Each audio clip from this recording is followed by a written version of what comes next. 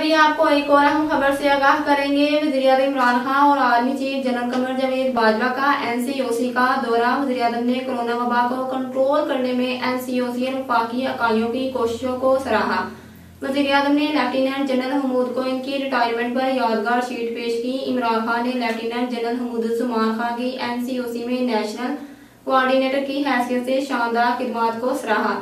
general Mahmood ने corona की रोकथाम में इंतहाई कलीदी किरदार अदा किया तर्जुमान एनसीओसी के मुताबिक वजी अजम और army chief general Qamar Javed Bajwa को कोरोना का फैलाव रोकने के लिए इकदाम और मुस्तबिल में वैक्सीनेशन की हमत अमली पर ब्रीफ किया गया मजीद खबरों और अपडेट के लिए देखते रहें कैना न्यूज़ लाइव